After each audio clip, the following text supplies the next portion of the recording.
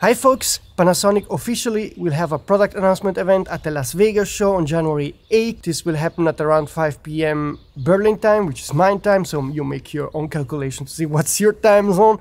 And uh, so far I can only confirm that we will get the 100mm 2.8 L mount macro lens and I'm sure of that also because I got an image and you can see the image of a piece of the lens here. It's a clear proof that this lens will be announced on January the 8th. I didn't get any confirmation about possible camera announcements. We know that Panasonic registered a high-end camera in China, so this should be announced pretty soon, early in the year, so January, February. I don't know if this is going to be the high resolution model or uh, some kind of S1 success or whatever. I don't have a confirmation about what to expect. I do believe we will get the Leica SL3 with 60 megapixel pretty soon. My bet as for now, it's just a bet and the best guess is that we are getting a high resolution Sonic Panasonic camera uh, with again 60 megapixel sensor with or right after the Leica SL3 announcement.